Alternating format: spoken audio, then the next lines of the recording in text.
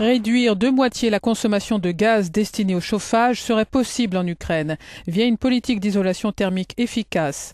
C'est ce que soutient Innogate, un programme de l'Union européenne pour la coopération dans le domaine de l'énergie. Un projet d'isolation thermique est mis en œuvre dans dix municipalités ukrainiennes. Ici, à Yagotin, la Commission européenne a alloué 200 000 euros pour rénover une école primaire.